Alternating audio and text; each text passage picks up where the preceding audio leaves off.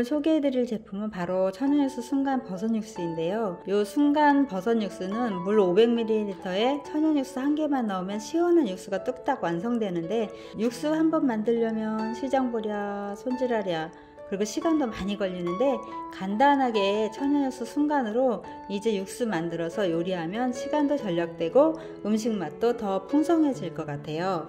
한번 개봉해 볼게요. 옆에 보면 절취선이 있어서 이렇게 절취선대로 따주면 돼요.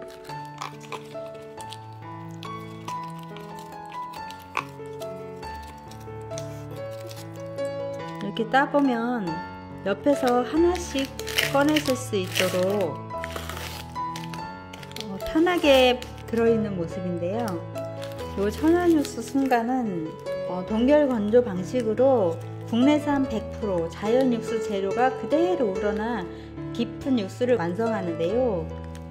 버섯 육수는 포그버섯, 포그버섯 농축액, 소고기 농축액, 양파, 마늘이 들어가 구수한 버섯의 맛과 향으로 다양한 요리를 만들 수 있어요.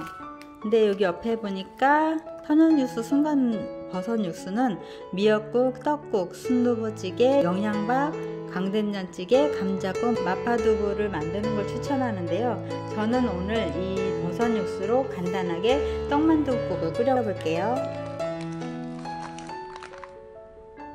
물 1500ml를 넣고 다음은 천연육수 순간을 바로 찬물에 넣어줄게요.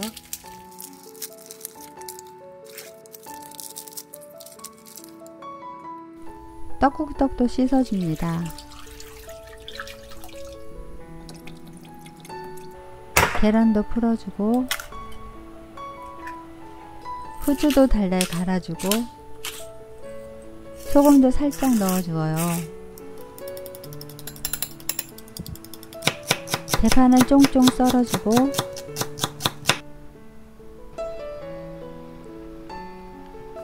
육수가 끓으면 만두와 떡을 넣어줍니다.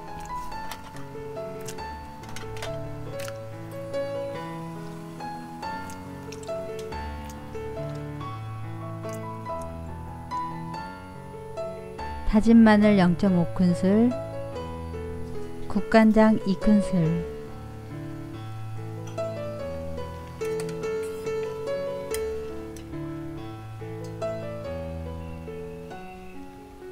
보글보글 끓으면 준비해 놓은 계란물도 넣어주고요.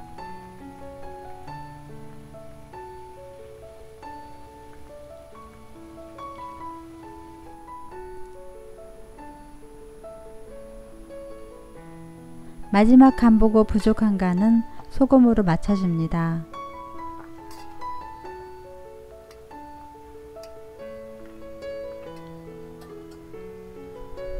쫑쫑 썰어 놓은 대파도 넣어주고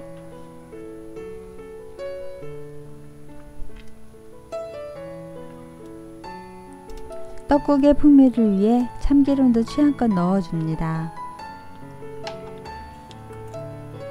저는 두 큰술을 넣어줬어요.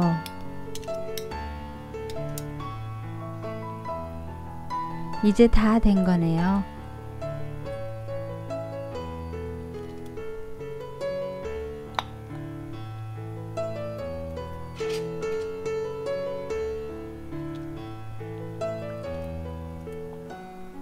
마지막 김가루도 올려줘야죠.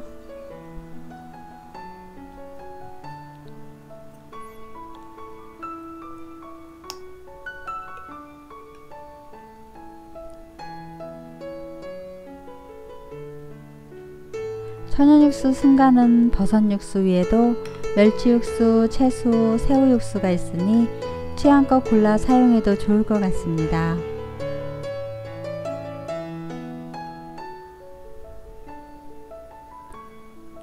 감사합니다.